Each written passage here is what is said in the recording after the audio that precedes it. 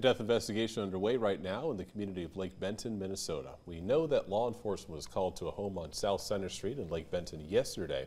That's where they found the body of a woman, as well as a critically injured man.